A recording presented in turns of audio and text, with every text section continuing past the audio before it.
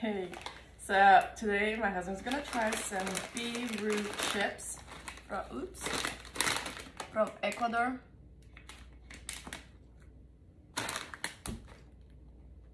That's all I know. You're supposed to be healthy, mm-hmm. gluten free, non GMO. Maybe. It's probably good. How do they make these so hard to open? Like,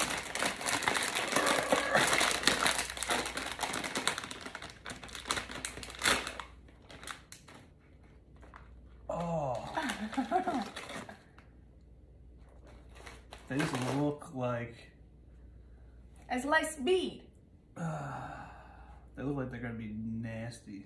It's healthy. You know what the one Better the than the- spicy chip? Yeah, it's better Like, than that one. This is not supposed to be spicy, right? No, it's just like. Well, the ingredient says only bear, beetroot and palm oil.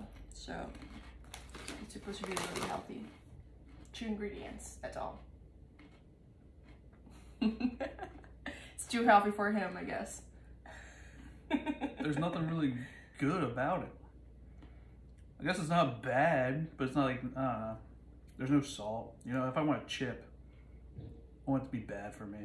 That's not bad for me. no, that's way too healthy. I'll give those like a a five four. Oh my god, just because it's healthy? There's no they don't taste that good too. Like yeah, it doesn't have any salt at all. It says just beetroot and palm oil. That's all the ingredients. No salt, no sugar, no artificial anything. It's from Ecuador. Well, but those are the ingredients. Yeah. As you can see here, just two ingredients. That's all. yeah, definitely low on the totem pole.